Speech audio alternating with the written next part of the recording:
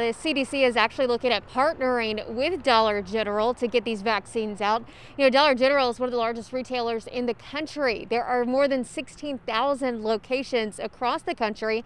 Nearly 800 of those are right here in Alabama. Now, that's three times the number of Walmart locations and half as many as CVS and Walgreens. Dollar General stores don't have pharmacies, but the CDC director says that these stores would offer refrigeration capacity within 10 to 15 miles of rural communities in all but four states.